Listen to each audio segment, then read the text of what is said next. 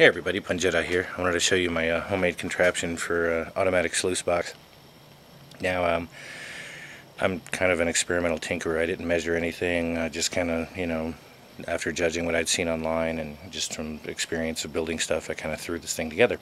So I wanted to show you my truly, it's going to be the first run that I'll let it run for a moment, um, but I've already tested it just to see. You know, it didn't blow any lines and stuff. So what we're looking at is we've got my standard, it's a Keene sluice box. Um, I think it's considered a, a four footer, 18 inch flange. And then I've just taken some PVC, taken some barb fittings. Uh, forgive my primer job on that one, that was kind of sloppy. But um, I've got all my hose clamps going here. And then I've got it down to a pretty much just a, a junk pump sitting in the water. And then I'll be running that through.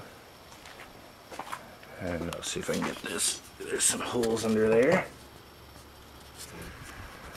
And uh, it's pretty much ready to go. I just need to plug it in. So I'm going to do I'll go ahead and plug it in. And I'll show you. There might be some faults and uh, I haven't run any material through it so I don't know the uh, the angle of it you know if it's actually efficient if it's going to catch anything. Um, and I also need to run a level on it. So it's got a few adjustments but this is the first run. Here we go. And uh, let's see if I can do this with one hand. Zap. Here, let me set this down for a moment.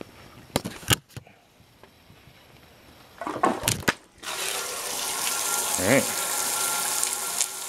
There we go, now it's running. I've got a little splash over. I gotta adjust some of the flow. Doesn't look like I have any leaks off my um, plumbing here.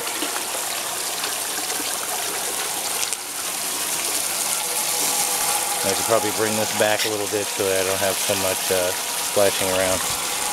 Maybe even just a piece of foam right there to break up the water. And it looks like I'm a little right side heavy. But for my very first uh, automated system, oh, it's too bad. Anyways, I'll show you the results later. Bye-bye.